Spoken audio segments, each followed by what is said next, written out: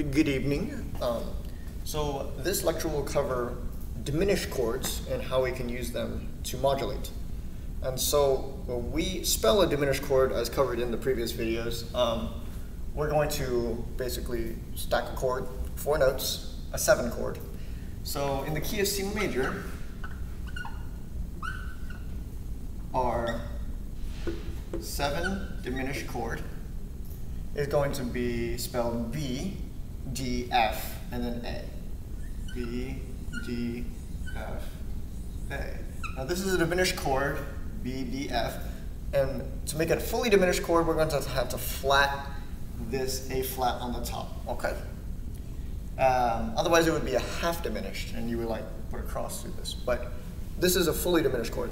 And we're dealing with fully diminished chords because they are able to invert and it is cyclical. So when you invert it four times, it will return to its original state or its original key center, per se. And so to use a diminished chord to uh, modulate into a key, we have to understand that each of these chord members can move by half step up to a new key center. So each, uh, and to restate that um, in different words, each of these chord members are leading tones. Because they are leading tones, you can move upwards by half step to reach a new key center. So how can we do that in the key of C? Well, B is the leading tone to C.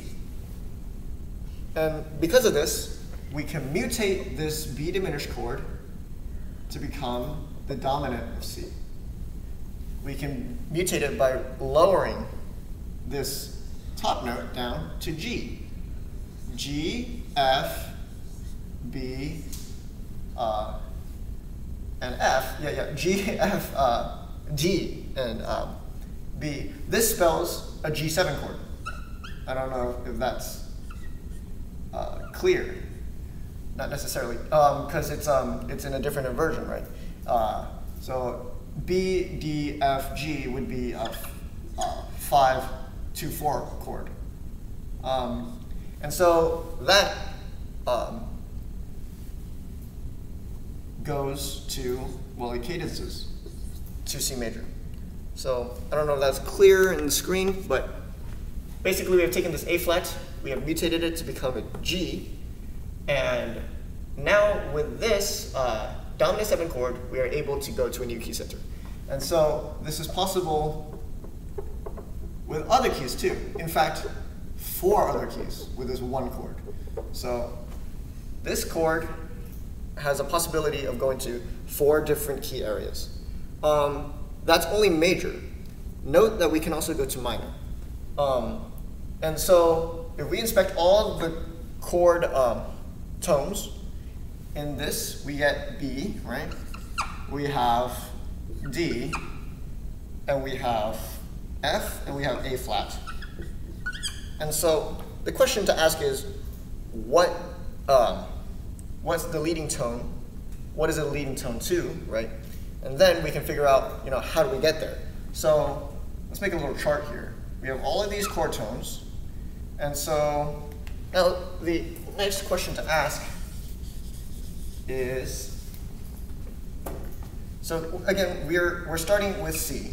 And C, the seven chord, the seven diminished seven chord is going to be spelled B, D, F, A flat. Now, B is a leading tone to C.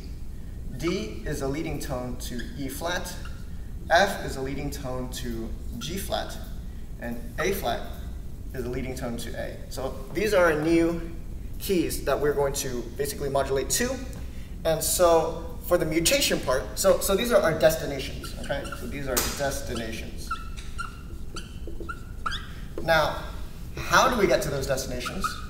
Well, as we just uh, previously showed up here, we're going to need a 5-7 chord to mutate to. So we're going to change one of these terms, one of these particles, and we're going to turn them into a 5-7 chord. And so working backwards, I guess, we can see that we can mutate to E7, we can mutate to in this case D flat 7. And then we can mutate from this one, this would be B flat 7. And then this one would be G7.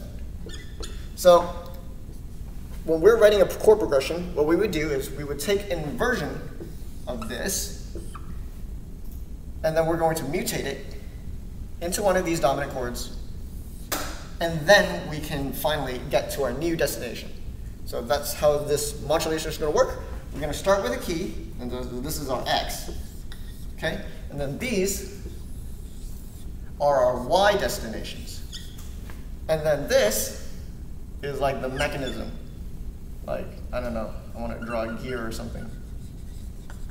Like, that's a bad gear. Um, how about like an explosion? Yeah, yeah. This is our chain reaction. Um, so we need to use C, go to this dominant, well, this, um, sorry, this um, diminished chord. We're going to mutate it to become the dominant so that we can get these new key centers. Hopefully this helps.